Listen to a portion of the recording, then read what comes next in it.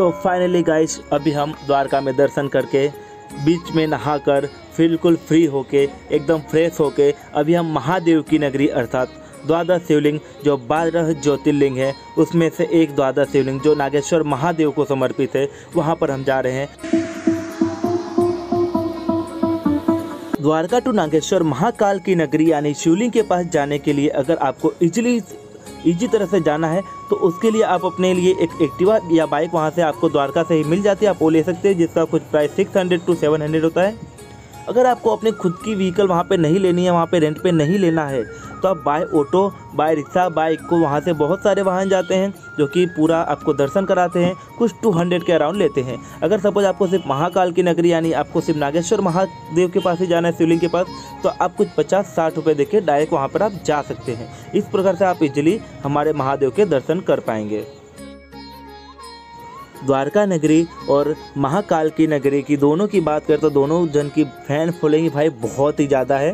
जिससे मुझे लाइन में दो घंटे कतार में खड़ा रहना पड़ा। आफ्टर उसके बाद जाके मैं फाइनली गाय मंदिर के अंदर प्रवेश कर पाए तो दोनों ही जगहों पे आपको भीड़ भाड़ बहुत ही ज़्यादा यूनिक चीज़ में देखने को मिलेगी।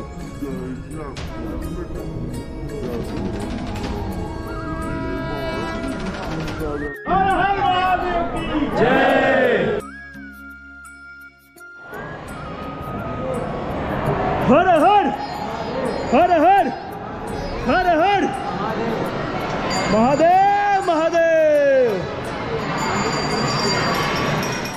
एक पौराणिक कथा के अनुसार श्री नागेश्वर में भगवान शंकर की नाग रूप से और देवी पार्वती की नागी रूप से पूजा होती है।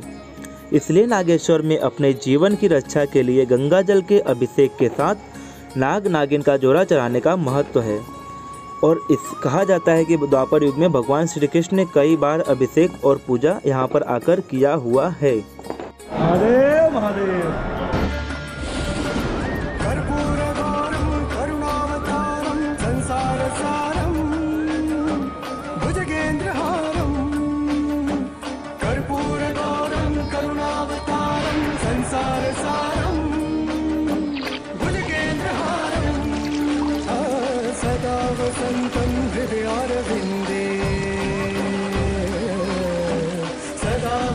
महादेव का दर्शन तो बड़े ही इजीली और आरामदायक तरीके से हमने किया। आफ्टर उसके बाद हम, हमारे नंदी जी महाराज जी को मिले और उनके कानों में बड़ी प्यारी प्यारी बातें कही जो हमारे भोलेनाथ तक पहुँचाने का काम करेंगे।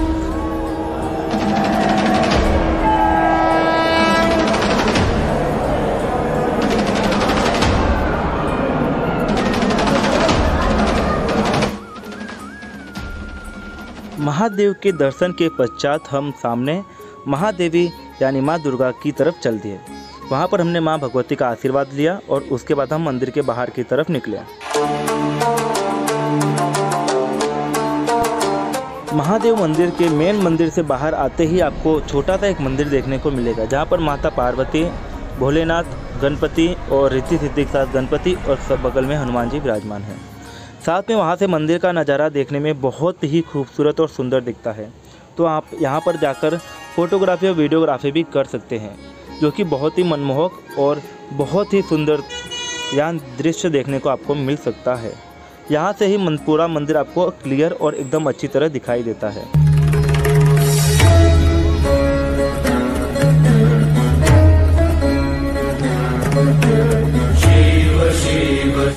उसके बाद हम कुछ समय शिवालय के अंदर ही बैठे रहे जिससे हमारे मन को बहुत ही असीम प्रकार की शांति मिली। उसके बाद हम गोपी तालाब की तरफ़ निकल दिए।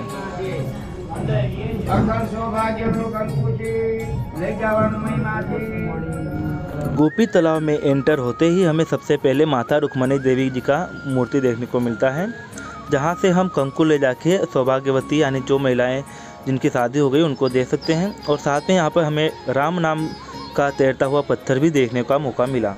तत्पश्चात हम अपने लड्डू गोपाल की तरफ़ चले। जहाँ पर हमारे लड्डू गोपाल जी को हमने झूला झुलाया और वहाँ पर झूला झुलाने में एक बहुत ही असीम प्रकार की शांति भी मिलती है। तो आप अगर यहाँ पर आते हैं तो हमारे लड्डू गोपाल जी को अच्छी तरह झुला झुला के जाना। राधे गोपी तालाब की बात करूँ तो गोपी तालाब द्वारका से 20 किलोमीटर के आसपास है। यहाँ पर आप जैसे ही आते हो आपको कुछ दुकानें और कुछ सामान्य वस्तुएँ भी आप यहाँ से खरीद सकते हो जो कि कहीं भी नहीं है। गोपी तालाब और यहाँ पर अर्जुन कुंड भी है।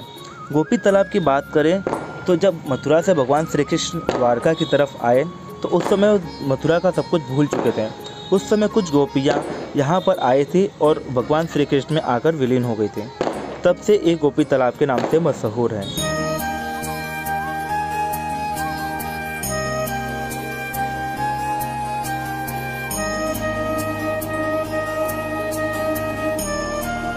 गोपीनाथ तालाब की तरफ़ जाते ही प्रवेश द्वार से एंट्री करते ही हमें सबसे पहले श्री गोपीनाथ जी का मंगलमय मूर्ति देखने को मिलता है।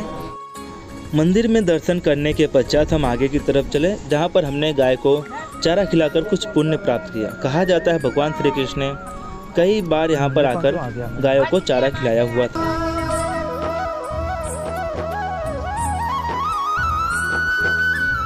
गोपी तालाब की बात करें तो यहाँ पर हमेशा ही थोड़ी बहुत भीड़ रहती है, क्योंकि दर्शनार्थी हमेशा द्वारका में दर्शन करने के बाद या महादेव शिवलिंग के दर्शन करने के बाद यहाँ पर हमेशा आते हैं। यही वो जगह है जहाँ पर भगवान श्री कृष्ण ने गोपियों के साथ में एक बार रास भी रचाया हुआ है। तो आइए, इस शुद्ध पानी का हम भी दर्शन करें।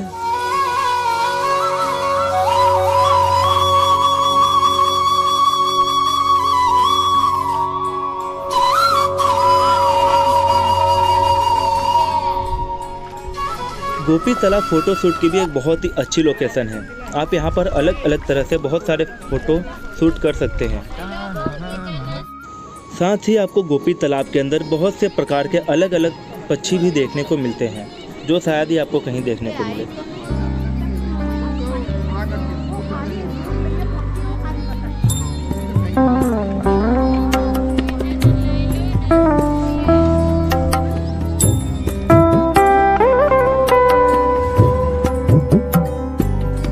फाइनली गाइस अभी हम जा रहे हैं भगवान श्री कृष्ण की नगरी, यानी भगवान श्री कृष्ण के घर पे। कहा जाता है बहुत कम लोग का ही बुलावा आता है उनके घर पे। क्योंकि उनका घर है बेट द्वारका और सब मोस्ट ऑफ़ द्वारका में दर्शन करने के बाद वापस आ जाते हैं। द्वारका यानी भगवान की कचहरी। बेट द्वारका यानी भगवान श्री कृष्ण का अपना खुद का घर, जहाँ पर भगवान श्री कृष्ण खुद विराजमान रहते थे हमेशा। तो चलिए हम चलते हैं बेट द्वारका में और प्रभु जी के दर्शन करते हैं। जय द्वारकाधीश।